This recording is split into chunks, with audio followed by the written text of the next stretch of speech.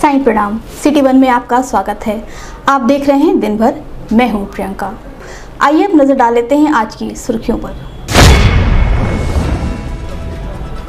बेतिहाटा से पैडलेगंज तक four lane सड़क के लिए जिला प्रशासन ने शासन को भेजा 250 करोड़ का बजट। नगर आयुक्त ने दी जानकारी, कहा अब नगर निगम में होंगे 70 की जगह 80 वार्ड, जल्द होगा परिसीमन का कार्य। वरिष्ठ पुलिस अधीक्षक ने सहजनवा व गीड़ा थाने का किया गया औचक निरीक्षण, दिए आवश्यक दिशा निर्देश।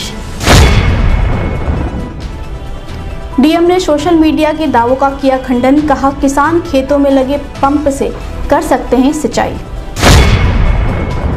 पुलिस अधीक्षक नगर ने शाहपुर थाने का किया निरीक्षण, खामियों को जल्द से जल्द दुरुस्त करने के लिए दिए आवश्यक दिशा निर्देश।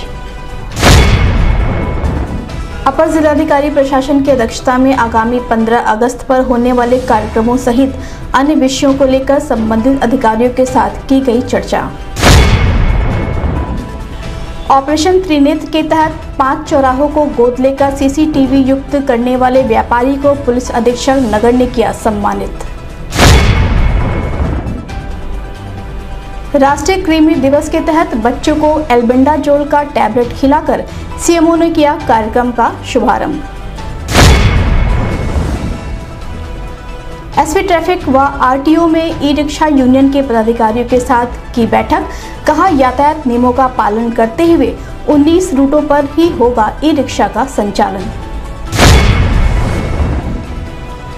सीएमओ ने दी जानकारी, कहा, जल्द ही रिक्त पदों को भर विशेषज्ञ डॉक्टरों की होगी तैनाती।